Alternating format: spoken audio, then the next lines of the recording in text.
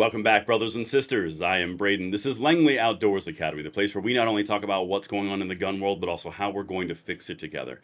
And the content that I've got for you today is an incredibly special treat. This is a bombshell interview. You are not going to want to miss a second of it with the Attorney General of Missouri, Andrew Bailey. This guy is a rock star in the making. You need to see this entire thing. It's like a 15 minute interview.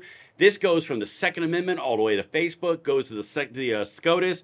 This is massive. And there's some things in here that you simply have not heard anywhere else regarding the SAPA, which he is directly involved in. Everything that I've got for you is only possible from you guys making sure you hit that like button, subscribe to the channel, turn the notification bell on, and please let me hear you in the comments and send this to everyone because this is an interview you're going to need to see. And without much more, let's get right to it. All right, so people, as I mentioned in the introduction, I am honored to have a very, very special guest that has a lot of expertise on something that you guys have seen a whole lot of on this channel, particularly the SAPA, the Second Amendment Protection Act. This is something massive, and who better than to walk through that than the actual sitting Attorney General of Missouri himself, Andrew Bailey. Andrew Bailey has a background that will really resonate with you guys. He's a father of four, prosecutor, a decorated uh, veteran of the armed forces, and the sitting AG. Andrew, thank you so much for coming on the show, man. This is a big honor. Hey, man, it's a privilege to be here. Thank you so much for having me on.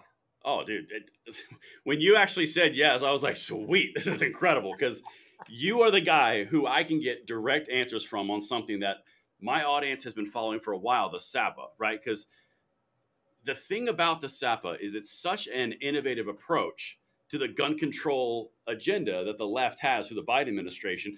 I mean, really, it's it's very similar to following the sanctuary cities approach that the left does with immigration, right? I mean, I'm not yeah. off base on that, right? Well, it's close. Yeah, I mean, uh, look, the, this is about protecting our right, God-given right, to keep and bear arms. That's why it's the Second Amendment Preservation Act. But it's also right. about the Tenth Amendment. And the question is, do states still retain any sovereignty under our system of government? And the Tenth Amendment, as your audience will remember, uh, says that you know any authority not given to the federal government or deprived to the states is enjoyed by the states and the people of the states. So if the mm-hmm. state of Missouri wants to say we're not going to cooperate with federal officials unconstitutional gun registrations, unconstitutional gun grabs. The state has a right under the 10th Amendment to codify that in law, and that's what Missouri has done. Now, the mm-hmm. Biden administration was incensed. They're apoplectic. How dare anyone tell them we're not going to carry out your unconstitutional mandates? And so they have sued the state of Missouri. But, you know, I think at the end of the day, standing is a real issue here. The state mm-hmm. law is a is a codification of the anti-commandeering doctrine found in jurisprudence from the United States Supreme Court interpreting the 10th Amendment.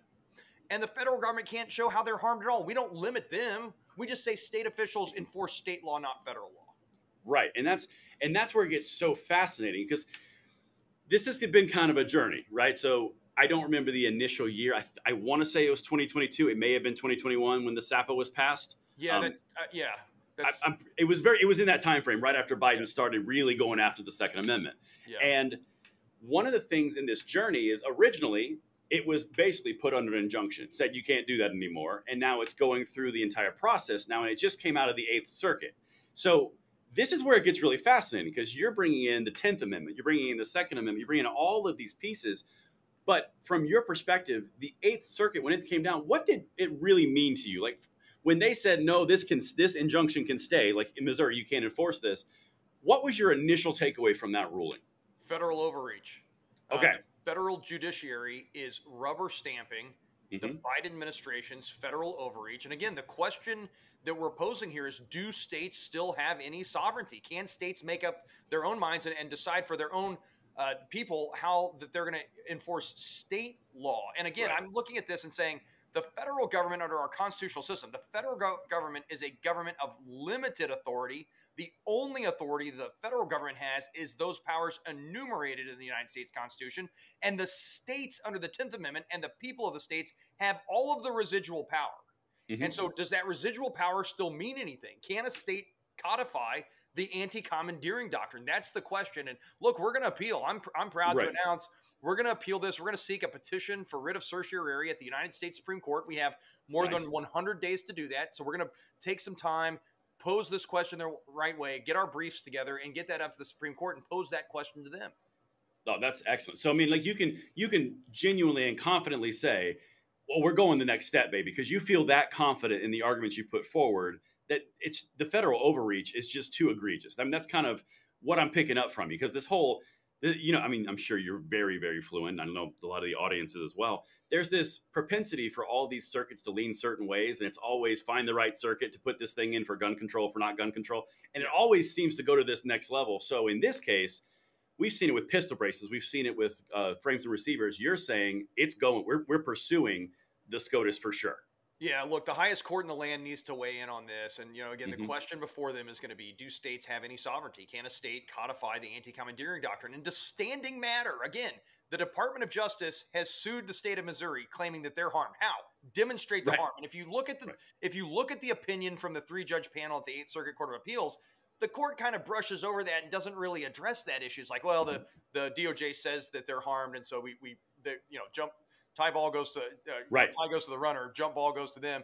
I, I, don't. I reject that. Like, if I went to court, I would have to prove standing under Article Three, the cases and controversies mm-hmm. requirement. Mm-hmm. The Department of Justice should have the same burden, and so mm-hmm. that's going to be the question before the court. And you know whether or not they're standing, and whether or not DOJ can actually demonstrate that they're harmed in any way uh, is directly correlated to the anti-commandeering question. And so both the merits and standing are tied up in a lot of ways on that mm-hmm. central contested issue. And so that's what we're going to put before the court. That's awesome. Um, I, I cannot wait to cover that and just watch that happen because we've had a lot of things that have come down from the Supreme Court that have been very beneficial for us recently, particularly in the Second Amendment. I mean, from the standpoint of the Bruen decision, the Cargill decision, the Loper Enterprises decision with Chevron de- doctrine, and all the executive uh, bureaucracies. Yeah, um, that would be a sweet one to put on top. But I actually, I've got a question for you about the ruling that the Eighth Circuit put down because I I read it one way, and I'd really love to get your take on it. Um, one of the main things that they put in this um, in this decision was that the state has the opportunity to ignore a law if it's a valid law, but if the state calls it an invalid law, then they can't do that because you're invalidating a federal law. Am, am I way off base on that, or because I remember seeing that in the actual document, they were really hung up on basically saying Missouri has to say it's valid, but I'm ignoring it versus invalid and I'm ignoring it. Yeah, Did I miss yeah, that? Yeah, no, I, I, think you're getting that right. And I think really what that speaks to is the fact that both the Department of Justice and the three judge panel we drew at the Eighth Circuit Court of Appeals mm-hmm. are more concerned about what the state statute says than what it actually does. And right. I think they're really focused on some preamble language and are ignoring the fact that all we're saying is is that state the apparatuses of state and local government can't be coerced by the federal officials. That's all we're saying. Federal right. government, you go enforce federal law, state will enforce state law. And again, that's the proper relationship under the 10th Amendment. That shouldn't be a novel concept. And I think that the uh, kind of uh, terse, uh, abbreviated analysis that the court provided on those issues kind of speaks to the, the weakness in the decision that was rendered. Gotcha. And, and, that makes total sense. But it's just some things in there that that's one of the things that stood out. But I like the approach that you're you're speaking on of going forward from states versus federal and overreach. I mean, I think that's a very strong argument. I think that's a I would love to see that get taken up by the SCOTUS because that would be a fun one to listen to. Because just watching the DOJ try to defend that position would be an a, um, interesting exercise. I can I can tell you that. So where do you think it's going to go? Kind of wrapping the SAPA part. Like, what do you think yeah. the do you think they're going to take it up? Do you think they'll ignore it? Like, what's the likelihood? You know, my hope would be that the Supreme Court would take the case and that we would be up arguing the case, uh, you know, in next February or March, and mm-hmm. that we would bring home a win in June. I think this is an important uh, question. Nice. And again, it's not. It's about the Second Amendment. Second Amendment's the one that makes all the other ones possible, but it's also mm-hmm. about the Tenth Amendment and whether or not of states course. have sovereignty. And let me let me kind of dovetail with this. It drives me mm-hmm. bonkers, and, and attorneys are the worst about this. But everyone keeps saying, "Well, federal government, the Constitution has the supremacy clause. The federal government's supreme." Like, whoa, whoa, whoa, hold on, hold on they're not the supreme overlords. That's not what that means. The supremacy clause in the United States Constitution is an interpretive tool. It means that when you have a validly enacted federal statute that is part of their constitutional authority, like for instance, immigration law, the mm-hmm. federal government is in charge of immigration and they're supposed to be doing that job. They're not doing it right now, but they're supposed to be doing that. So if there's a valid law on immigration and there's a conflicting state law and that the, those two are irreconcilable, then the validly enacted federal law wins. But it doesn't mean that the federal government is supreme in all things and gets to make all decisions.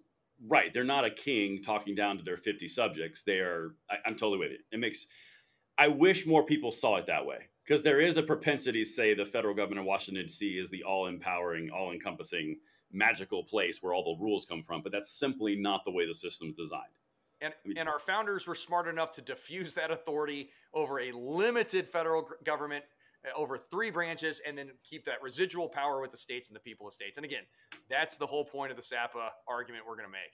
Oh man, I, I wish you the best on that because I think that is an excellent argument to bring forward to the, in the very least to public conversation, but also to the SCOTUS and those uh, just get those arguments out would be amazing.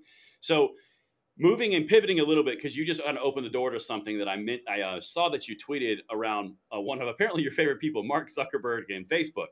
Um, this is something that I really caught my attention because you saw the letter he brought out, right? Where he's like, "Yeah, I mean, I, we didn't mean to, but we kind of did, but we kind of told to. Yeah, we censored all y'all." I mean, like, yeah, it, it was pretty clear what that letter stated. But you, I'm going to quote the tweet that you put out because I think it's something that was intriguing and just enough where I wanted to ask you about it. So this is the quote that you put out a couple days ago. Mark Zuckerberg's apology for censoring the American people rings hollow for the hundreds of thousands who remain shadow banned on his platforms. I haven't forgotten. Our work to preserve free speech is just getting started. My big question for you is what do you mean by just getting started? Because you guys are involved in not just the Second Amendment, you were involved in the freedom of speech issue, you were involved in the um, student debt relief from the federal government issue. You guys are all everywhere. But what do you mean by that? Well, let's talk about the First Amendment. And, you know, that is a God given right that protects our right to free speech, not only the speakers, but the listeners. Your audience has a right to hear from you. And mm-hmm. when you have the federal government coercing big tech into silencing your voice, that violates our right to free speech. Uh, we know that relationship exists. We've uncovered it in our lawsuit, Missouri v. Biden, that went all the way to the United States Supreme Court uh, that bureaucracy, that uh, alphabet soup of federal bureaucracy, we're all engaged in a vast censorship enterprise in 2020, 2021 uh, to silence voices, specifically anyone who disagreed with the Biden administration. That means that 100% of the voices that were censored in violation of the First Amendment were conservative voices. Now, we went to the, we got a preliminary injunction based on preliminary discovery and the Supreme Court took the case. And so the case sat there stale for a year, waiting for a decision from the United States Supreme Court. And the Supreme Court essentially said, look, the government clearly violated the First Amendment in coercing big tech into censoring voices, but the states only presented evidence of that censoring happening in 2020, 2021. Well, that's because we've only been allowed to do preliminary discovery to get the preliminary injunction. So the Supreme Court sent us back down to the trial court level. I'm proud to announce that just this week, the United States District Court judge ordered discovery to commence and we are going to use the tools of, of civil discovery to root out the vast censorship enterprise and demonstrate to the court that it still exists. Name one time in history the government has ever trampled on our liberty and then receded voluntarily. That doesn't happen. Right. That doesn't happen at all. Government grows in the absence of checks and balances. So that's why it's important to keep this lawsuit going forward. Now, two different kinds of censorship, though. We're talking government censorship in violation of the First Amendment. Zuckerberg admitted to that and he admitted that happened. Mm-hmm. And I mm-hmm. think what he's trying to do is punctuate the conversation and get everybody to stop paying attention. I think he's hedging his bets because he thinks President Trump may win, which he he we got to make sure that happens. Right. but he's hedging his bets. But there's still the corporate big tech censorship. And it is more nefarious and more dangerous than at any point in human history. And bear with me as I explain why. Yeah. When King George shut down a printing press, he, everyone knew he had done it, and he was only silencing one medium of communication, the printed word. But what's going on with these big tech oligarchs who disagree with people like you and me, don't want us talking about the Second Amendment, don't want us talking about our freedom because they don't like those things. when big tech censors us, it's they de they deplatform, they de-emphasize, they shadow ban. There's some leftist progressive turning dials that is muting our voices, your voice, and my ability to hear from you. And they're not only muting the, the, the written word, the spoken word, but also uh, body language, visual imagery. It's a multi-dynamic form of communication that's going on right now. And so uh, this is again, it's it's clandestine and nefarious the level of censorship going on in big tech. And so it's incumbent upon states to find ways to fight back. We've already got our lawsuit pending against the federal government, but we got to get creative and also fight back against this big tech oligarchic censorship as well. Yeah, and I also think it's very important to tell my audience he's running for attorney general again. So that's what you're looking forward to. So let's get that. Let's make that happen. Yeah, um, yeah, yeah, yeah. Let's, so let's definitely make that happen. Um, so the something that you just said and kind of wrapping the conversation because I know your time is limited and I appreciate you spending the time with us. You mentioned something about discovery, and that is that's something that is so overlooked and just from personal experience, because I mean, as when we met, and we've had our conversations, I was I'm so deep in the two A fight that I start to see patterns, and the gun control um, auspices they are in the middle of doing that exact same thing. So what they will do is they will say, "Hey Glock, we're going to sue you from Chicago, and then we're going to get the attorneys general from every blue state to also put in." You know, basically request and say, "Hey, don't you delete anything? We want all the information. We're going to go through discovery." that discovery thing is a big deal because you can actually you have access to things that you normally wouldn't. Could you explain that really quickly for the audience, kind of high level? Yeah, and this is why offensive litigation is important to protect freedom. Mm-hmm. When you have these entities at the federal level and in uh, you know these massive big tech oligarchs uh, trampling on our rights and harming consumers and consolidating and manipulating marketplaces. Uh, offensive litigation is the only remedy that I'm aware of to uh, not only gain access to a peek behind the curtain of what's going on, but to, to gather the evidence necessary to push that lawsuit forward and win. And, uh, you know, Republicans have traditionally been antithetical to offensive litigation, have said, hey, look, we defend civil suits, we don't do plaintiffs' work. Uh, right. and, and that worked for a time, but that's kind of a go along to get along mentality that is, is failing now. And so we've got to stay on the offense. Oh, absolutely. And failing in spades.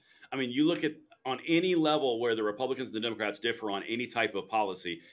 Obviously, my bailiwick's in the 2A. It is consistent. The Republicans are always on defense and they are always yielding ground to make the compromise. I mean, it is consistent. Yeah. We've just now seen over the past few years, two, three, four years, Republicans actually going on the offense, as you're mentioning. Like when we had I think I think the number was 19 constitutional carry states, and then within two or three years we had 29. So I mean, like we we are moving the ball. Yeah. But I think what you're doing is so important. You and all the other AGs around the nation in red states where you have the control and you've been voted into office. I think more of that, and you start to move this ball on a different level than what we've done prior. I think what you're doing is amazing, and I do thank you for that. That's awesome. No, I, I appreciate it. Let me let me say this too. Like the caveat here is, look, lawsuits are a game of whack a mole. At the end of the day, we need structural change, and the best way to implement structural change is to elect Donald Trump president. And and the way we're going to do that is making this thing too big to rig. If every mm-hmm. gun owner, if every shooter, if every sportsman in America registered to vote and took someone to the polls with them that was a fellow shooter, we win. Oh, we make dominate. it too big, too big to rig. And so that's why I'm telling everybody go check out Vote for America, vote number 4america.org, register to vote, register your buddy to vote, take, and then go one step further take them to the polling place in November. We will prevail. We will make this thing too big to rig. If every gun owner makes their voice heard at the at the polling place, we win every time. Yeah, and uh, that's such an amazing stat. And kind of wrapping this conversation, the amount of influence that we just have that is just sitting there that is not activated. I mean, it, it truly is remarkable. Ten million people, guys. Understand that the vote margins that we're talking about in these swing states last election, it was 10,000 in one state, it was 4,000 in another, it was 40,000. I mean, like, we're talking small potatoes versus 10 million. Um, and honestly, I mean, I think you'll agree. The, the power is right in our hands. We just have to take it. I mean, we the people, yeah, we the we people, the freedom loving people who exercise our right to keep and bear arms. Go to yep. voteforamerica.org, sign up, get a buddy, sign them up, and then take them to the polling place. That's the key, man. It's a simple yep. recipe. We can do this. We can absolutely do it. And so we're going to wrap out, but do you want to tell people where they can find you, all your social stuff, your websites, everything? Yeah, I got an election in November too. Love people support. Check us out at baileymo.com. That's baileymo.com. Andrew Bailey Mo on X. Uh, love your support. Love being on this this channel, man. Appreciate what you do covering these important issues. I'll keep you updated. Look forward to talking again soon. Oh, please do. And thank you again so much for coming. It was an absolute blast. Thank you, sir.